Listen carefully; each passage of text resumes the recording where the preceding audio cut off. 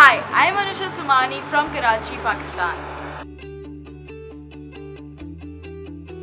I first got associated with MCW in 2017 where, where I first attended YLA in 2017 as a mentee followed by doing a three-month internship with MCT in 2018.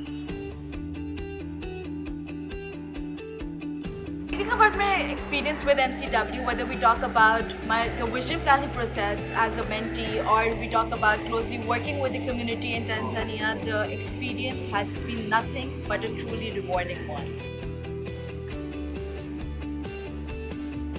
All of this experience has not only enabled me to grow as a person, but it has also played a huge role in giving birth to my social startup called Shoulder Pad, which aims to create a world where youth's voice is heard. Uh, I would like to thank MCW for believing in me and for considering me a part of this beautiful legacy. Thank you.